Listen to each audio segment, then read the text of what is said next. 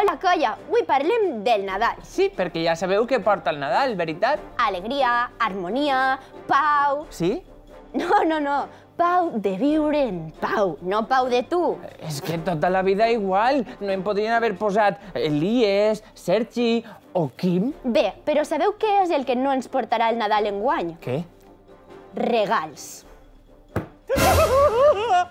Bé, almenys no tots els que demanem, però tranquil, que alguns sí que arribaran. Però, però, per què?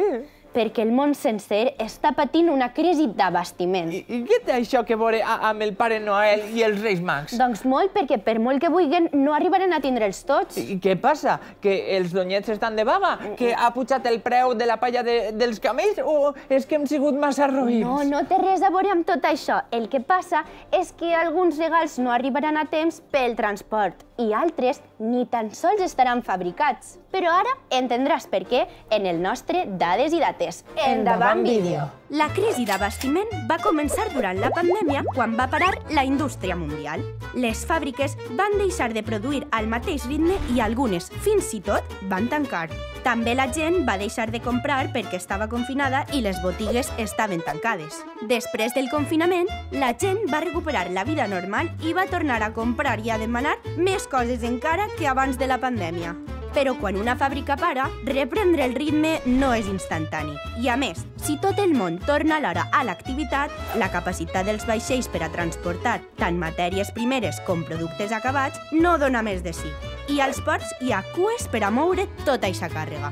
Resultat, ara mateix es demana a major ritme del que es fabriquen i es transporten els productes. I al Nadal encara es demana més.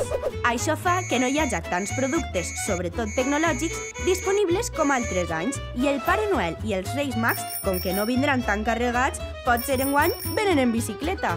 Un moment! Això vol dir que no hi haurà videoconsoles? Mm, No moltes, perquè també, per culpa de la pandèmia i de la crisi d'abastiment, els fabricants de xips a Àsia no han sigut capaços de produir tots els materials necessaris per a fabricar totes les que hem demanat. Però tranquil, germanet, hi ha vida més enllà de les pantalles. Sí, eixa vida es diu edat mitjana.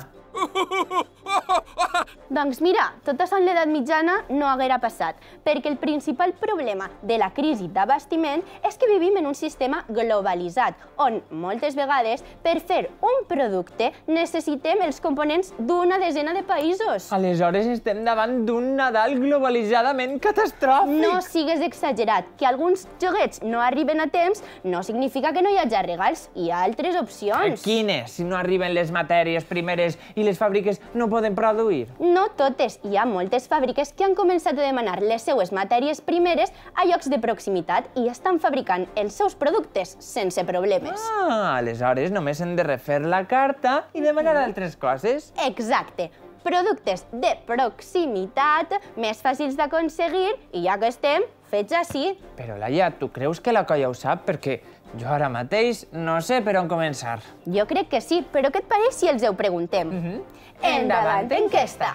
Eh, no, però crec que és un assalt. No sé. Doncs jo crec que una crisi d'abastiment és quan tu te demanes un joguet i no te la poden portar perquè no n'hi ha prou material. Perquè ja s'han agotat i ja han dut a altres xiquets que també ho havien demanat. No ho sé massa bé, però crec que significa això. He demanat moltes coses, però una Nerf i, altra i un xoc per la Switch. Algun joc de taula, una Nancy, un microscopi, un hàmster perquè no tinc ninguna mascota. Els demanaria roba, una camisa de mudar, unes sabatilles per a fer skate, un llibre, una llibreta per estudiar. Joguet no.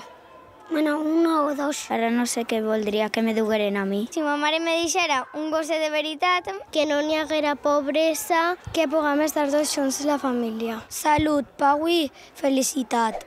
Moltes gràcies, colla. Hem pres bona nota.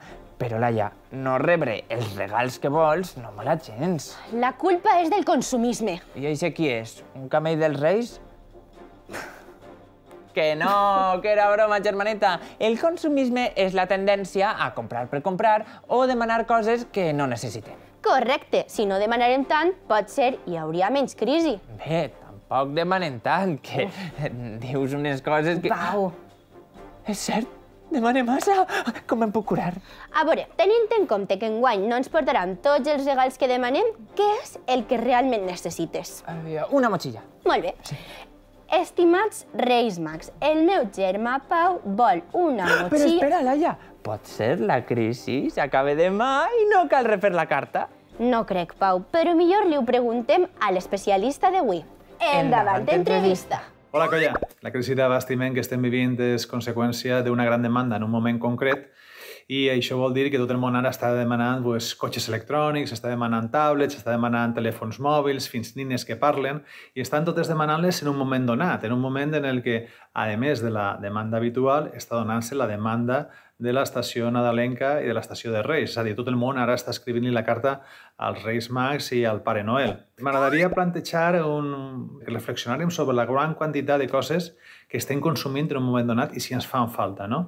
I la velocitat a les que les estem consumint. I m'agradaria que pensàrem si estem consumint d'una manera sostenible és a dir, que servisca perquè els productes, una vegada acaben la seva vida útil, siguin reciclats, o si podria, d'alguna manera, estalviar en el curt termini, és a dir, me vaig a llevar de gastar-me ara això perquè en el futur segurament me gastaré algo que me farà realment falta. És a dir, consumir d'una manera sostenible en el llarg termini jo crec que seria una solució. La veritat és que és molt difícil, no tinc la bola de cristal, però si tinguera que dir cosa seria quan la demanda i l'oferta tornaren a ajustar-se, d'acord? I això imagine que serà a meitat de 2022.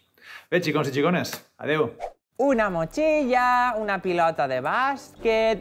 Sabeu, colla? Potser esta crisi ens ajuda a comprendre el que és realment útil. Sí, a partir d'ara demaneu regals que vos facin falta de veres. I si demaneu un joguet, penseu si l'utilitzareu o l'abandonareu als pocs dies. O penseu si podeu utilitzar-ne d'altres que només heu usat una vegada, com este parxís. Una partideta? I això com va? Ara te ho explique. I a vosaltres, colla, vos esperem en la pròxima edició de La, Colla News. I el volum on està el Que va en fitxes, Pau, no té volum. Fitxes de què?